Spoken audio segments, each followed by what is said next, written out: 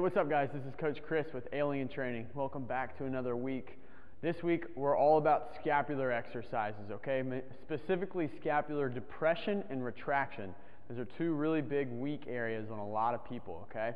Now, remember, your scapular depression is going to come from your lower traps and rhomboids, and your retraction comes from those, from those middle traps, rhomboids, all the way through, okay? And remember, your retraction is going to combine your extension as well.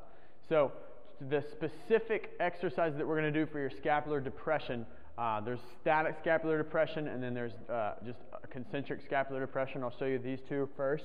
This is your most basic scapular depression exercise. You just want to sit with your legs out, shoulders back. Take your fists. I like to supinate them just a little bit, just so you can make sure that the external rotation occurs in the scapula.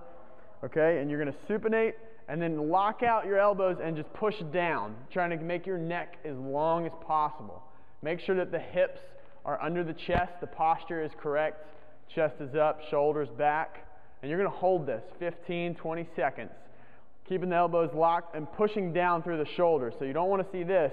You want them to stay as high as they can, pushing down through their shoulders, okay? And then from there, you can turn into the concentric contractions, going up and down.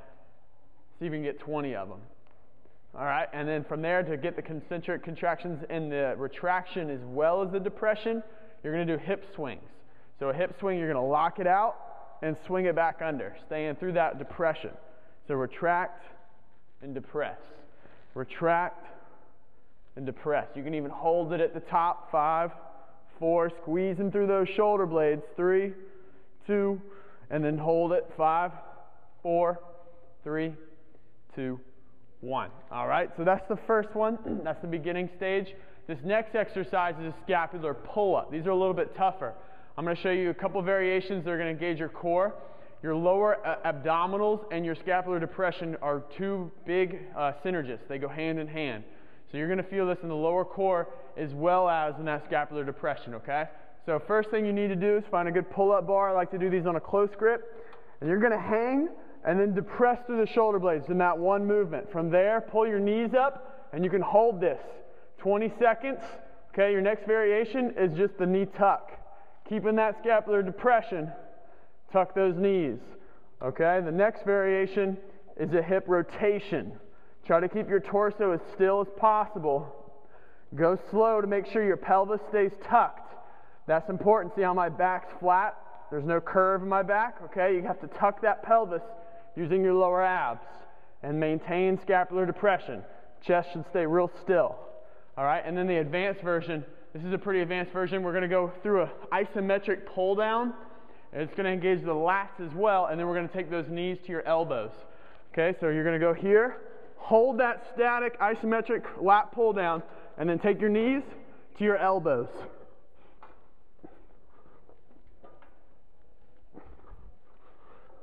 All right? That one's fun. That one's a little bit tougher. All right, and now here is where it all comes together. This exercise is a pretty awesome exercise. It's called a swiper. All right, now this exercise is going to combine everything we just did into one movement. All right, so you start here in a bridge, a full bridge. Make sure your hands are turned out, and you're going to take your contralateral side, okay?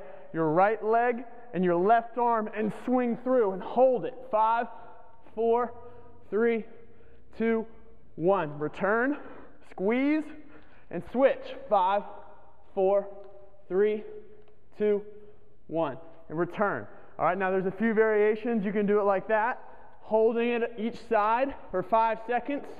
Three, two, one. Okay, or you can just do a, a full isometric contraction and just hold one position for 30 seconds and then switch sides. And then when they get real good and they're conditioned for it, work for some speed. So here and here.